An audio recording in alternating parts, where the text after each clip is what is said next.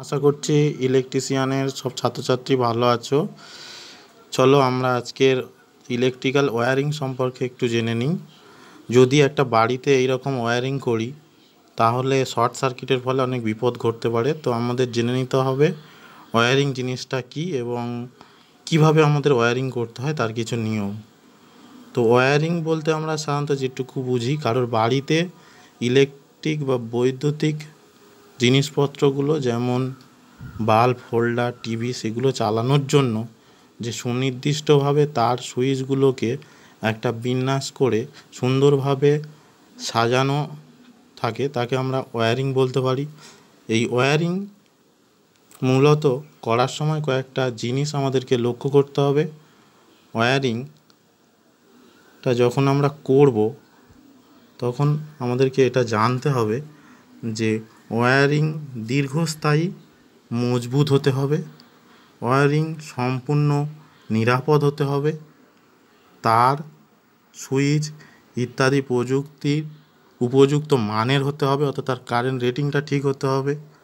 Light fan ঠিকঠাক কানেকশানে ব্যবহার করতে হবে। প্রপার আর্থিং ব্যবহার করতে হবে, এটা কিন্তু খুব ইম্পর্টেন্ট এবং ওয়্যারিং সুনির্দিষ্ট, সুন্দর দেখতে হবে। সেই রকম হতে হবে। তো এই জিনিসগুলো, পয়েন্টগুলোকে আমাদের লক্ষ্য রাখতে হবে। তারপরে আমরা দেখো, এখানে দুটো প্রশ্ন দিয়েছি ওয়্যারিংয়ের ব্যাপারে। ওয়্যারিং কয় প্রকার ও কী কী? এবং কোথায় কোন ওয়্যারিং ব্যবহার করা হয়ে থাকে? তো সেগুলোকে জানতে হবে আমাদেরকে। তো ওয়্যারিং টোটালি আমরা এখানে দেখিয়েছি যে ওয়্যারিং মেনলি তিন রকম। একটা হচ্ছে internal wiring over headed wiring আর একটা হচ্ছে আন্ডারগ্রাউন্ড ওয়ারিং এই টোটাল তিনটে পার্টে ওয়ারিংকে আমরা ক্লাসিফাইড করতে পারি, শ্রেণীবিভাগ করতে পারি।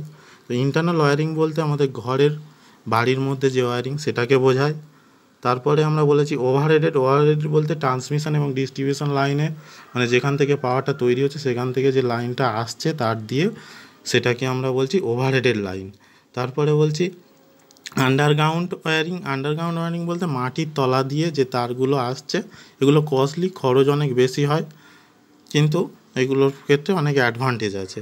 তো আজকের আমরা যেটা জানব, একটা বাড়িতে কি করে ওয়্যারিং করব, তার কিছু সিস্টেম দেখো, এখানে একটা বাড়ির ওয়্যারিংয়ে দেখো, একটা ল্যাম্প এখানে একটা ফ্যান এখানে একটা ল্যাম্প দিয়ে এই সুইচ এখানে একটা সুইচ আছে, এটা ফ্যানের সুইচ।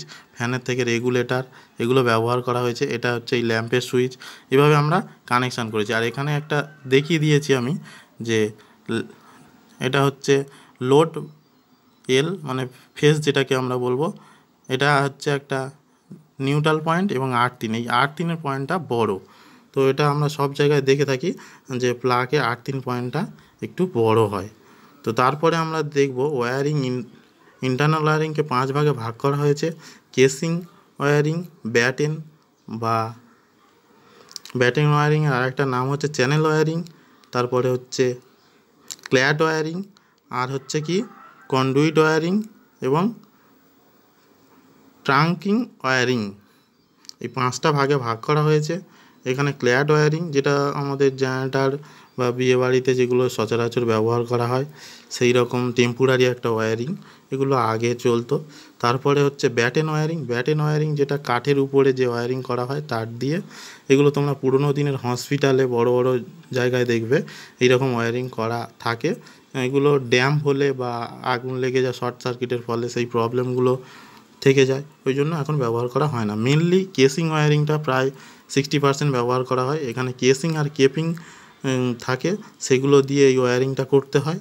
এই ওয়্যারিংগুলো মোটামুটি আমাদের ইন্ডিয়াতে সচরাচর চলে কেসিংয়ের মধ্য দিয়ে। তারপরে যেটা আছে কন্ডুইড ওয়্যারিং এই কন্ডুইট ওয়্যারিংকে দুটো পার্টে ভাগ করতে পারি আমরা। একটা হচ্ছে কন্ডুইট পাইপ যেটা পিভিসি পাইপ দিয়ে। সেটা হচ্ছে কি